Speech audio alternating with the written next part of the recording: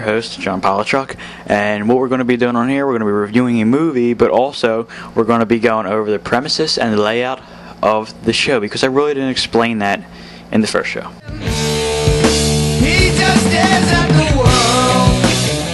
Okay, now the, the way I run this show is like this.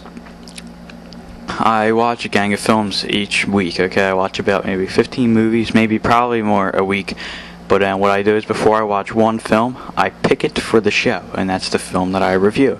It's not like I'm just, and I have to pick it before I watch it. It's not like I'm just picking films at random, like, oh, I'm going to watch this. I pick a film before I watch it. Um, it's not after. I've never seen the film before, so that I have new thoughts on it.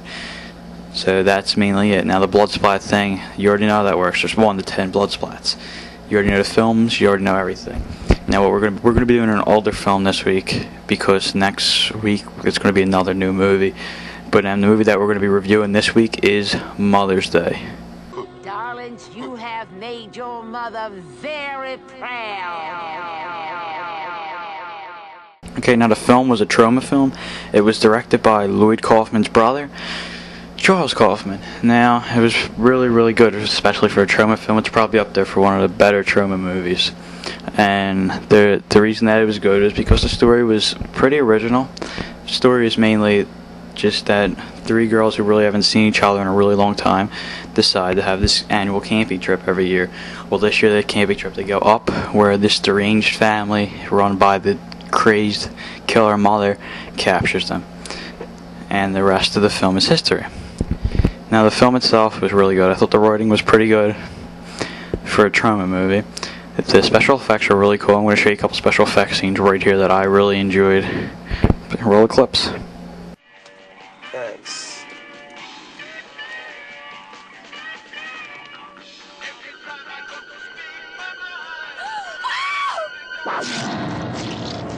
Oh,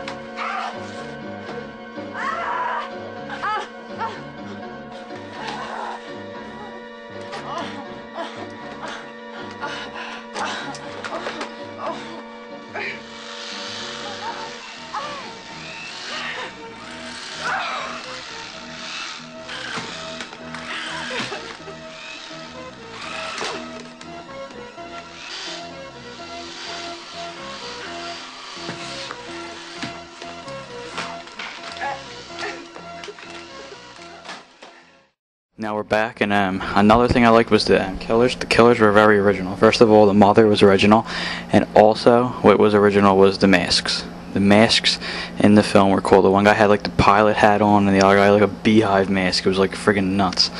Okay, so overall, I'm going to give the film seven, a solid seven out of ten blood splats. Okay, thank you very much.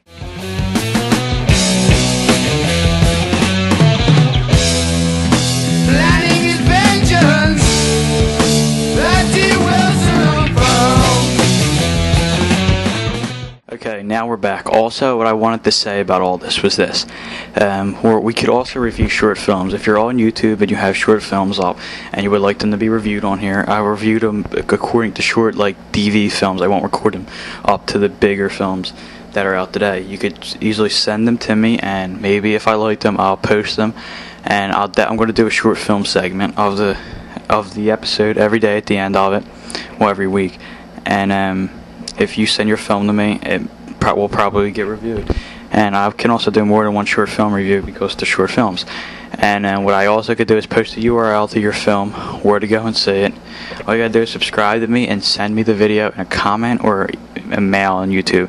Thank you very much. Please come back for the next episode, which will be Full Moon's new film, Dead Man's Hand.